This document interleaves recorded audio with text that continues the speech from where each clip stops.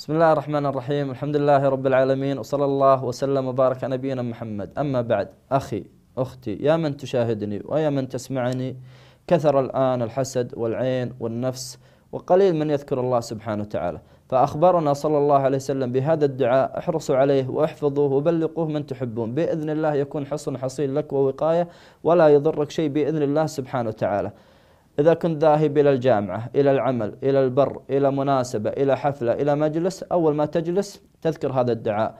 تقول خولة بنت حكيم رضي الله عنها أن النبي صلى الله عليه وسلم قال من نزل منزلا ثم قال أعوذ بكلمات الله التامات من شر ما خلق. لا يضره شيء حتى يرتحل من منزله ذلك. رواه مسلم. يعني أول ما تجلس وتذكر هذا الدعاء مرة واحدة فقط تقول أعوذ بكلمات الله التامات من شر ما خلق. لا يضرك شيء حتى ترتحل من مجلسك ذلك. للأسف قليل من يذكر هذا الدعاء فقط في البر وهو في كل مكان سواء جامعة سواء عمل سواء مناسبة سواء حفلة سواء مجلس عزيمة. أذكر هذا الدعاء لا يضرك شيء بإذن الله سبحانه وتعالى وأسأل الله سبحانه وتعالى أن يحفظني وإياكم بحفظه ويكفينا شر كل ذي شر وصلى الله وسلم وبارك على نبينا محمد.